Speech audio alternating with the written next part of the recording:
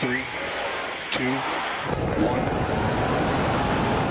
SpaceX's colossal Starship spacecraft exploded during its second major test flight, but all was not in vain. The test reportedly achieved new milestones that advance Elon Musk's crucial deep space launch system.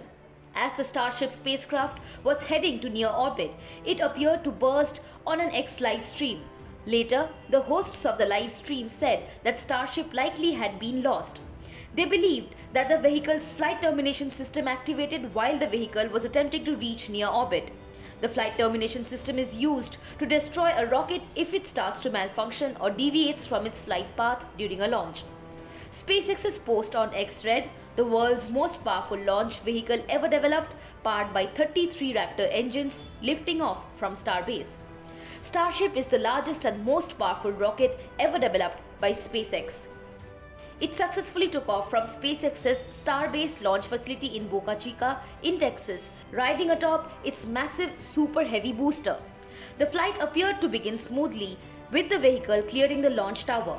The two vehicles separated as planned a little more than two and a half minutes into the mission, which is a feat SpaceX failed to accomplish on the vehicle's first test flight in April. However, soon after the separation, the Super Heavy booster burst apart for reasons not immediately clear. Starship continued onward on its path to reach near orbit and eventually reached space for the first time. But roughly 8 minutes into the flight, a large cloud of debris could be seen surrounding the spacecraft, and SpaceX said that it had lost data from the vehicle. The Federal Aviation Administration said by email that a mishap occurred during the launch, though no injuries or public property damage were reported.